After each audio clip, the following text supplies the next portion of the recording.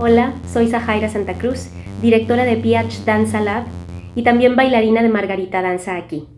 Lo que más me gusta del desierto para la danza es que lo considero una plataforma necesaria donde podemos comunicar a través del cuerpo, compartirnos, conocernos. También lo considero un espacio en donde existe la convergencia.